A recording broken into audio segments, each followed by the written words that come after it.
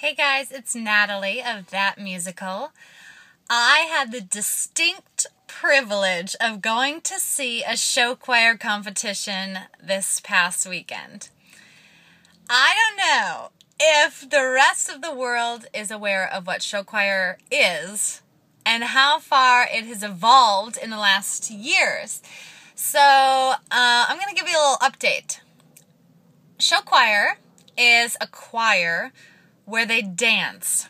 So it's um, where everyone um, is singing arrangements of different songs and they're putting dance moves to them. It's a little bit like Glee.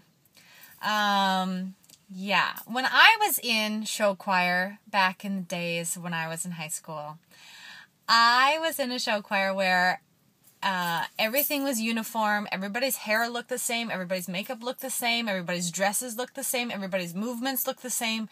It was all about uniformity. I got to see two of the best show choirs in the nation perform this past weekend. And it was nothing like I remember. Show choir now has taken this turn where instead of just doing songs that are related, they're kind of taking on themes and um, even going towards the musical route. Um, so taking characters and having people, certain people sing solos, and um, it's pretty awesome.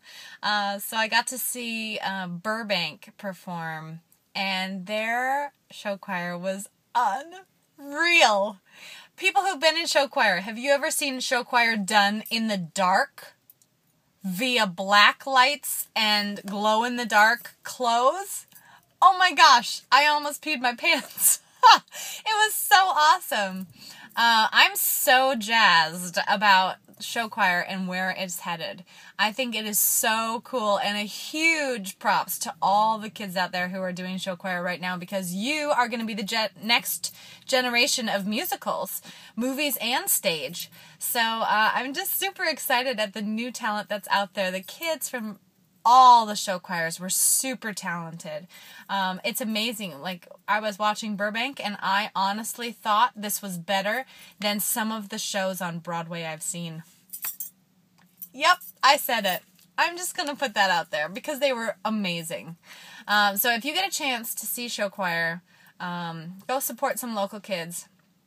And if you get the chance to see Burbank, prepare for your mind to be blown. Okay, bye.